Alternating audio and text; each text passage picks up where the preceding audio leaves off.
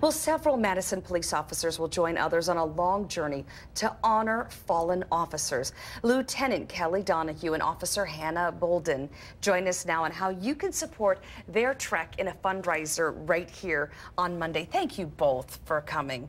Uh, first of all, what drew you to this specific event? Well, I participate in a summer camp for children who have lost a law enforcement parent in the line of duty. And much of the money that is donated to Concerns of Police Survivors is generated through this fundraising effort um, called Law Enforcement United. And Officer Boulden, I understand that you have a really close connection to this event.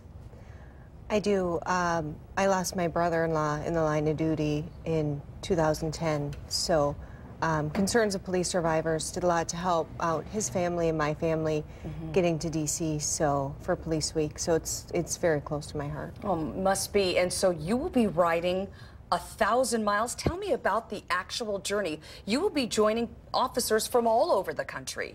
Yep, there are 54 of us that are participating in the long ride this year. We start at the site of the Boston bombing, so we honor those people, and then we ride um, all the way into DC. That's going to be a really, I think, special, very emotional event, I think, for a lot of people. Yeah. Yeah, we do um, uh, memorials at each break stop. So we honor fallen officers. A lot of the people who ride with us are also survivors. So um, it's, it's really powerful to watch.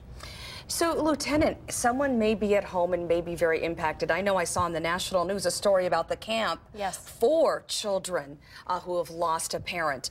Now, how can they get involved if they want to be so motivated by just listening to both of you talk? Well, this coming Monday, we have a fundraiser at Buffalo Wild Wings in Monona and they are gracious enough to donate 10% of all food sales on Monday oh, to our cause. And we will have a variety of different fundraisers over the next few months. Mm -hmm. Last year, we were able to donate $13,000. Oh, that's great. Yes. Um, what time is the uh, fundraiser? It's 11. Oh, so it's, go it's going to go all, all day. day. Oh, now that's what I'm talking yeah. about. I yes. could eat wings all day, you and know. you could come for breakfast, lunch, and dinner and 10% will go, go, to the team. That is amazing. If you would like more information, this is an important event, especially when you hear it from someone who has lost a loved one.